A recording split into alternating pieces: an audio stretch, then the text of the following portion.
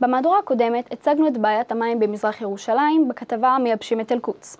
בכתבה העלו התושבים טענות כלפי תאגיד המים של ירושלים, הגיחון, על מחסור בקווי ביוב ועל אי חיבורם לתשתית המים, דבר שמאלץ אותם לרכוש מים ממכליות ולאגור אותם על הגג.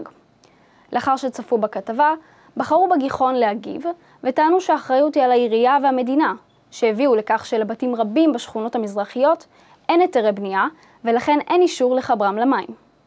אנחנו לא יכולים להתקין מדים לעשרות אלפי אנשים, לעבור על החוק פעם אחת, להתקין שלא לפי ההוראות המשפטיות, וגם לעשות את זה חינם אין כסף. יש גדר בירושלים, יש תושבים מאחורי הגדר, הם ירושלמים לכל דבר.